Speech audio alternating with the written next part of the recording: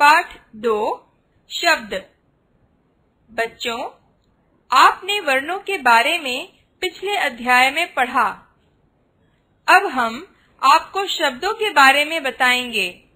बच्चों, मेरा नाम महक है। महक एक शब्द है, जो वर्णों के मेल से बना है।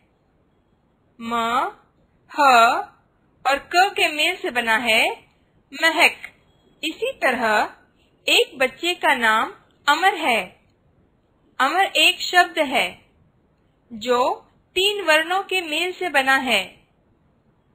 अ, म, और र के मेल से बना है अमर। अब आप समझ गए होंगे कि शब्द वर्णों के मेल से बनते हैं, अर्थात शब्द वर्णों का मेल होता है। वर्णों के कुछ और उदाहरण इस प्रकार है। घ और र से बनता है घर।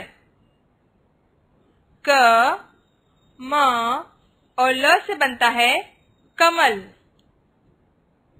थ र, म और स से बनता है थर्मस।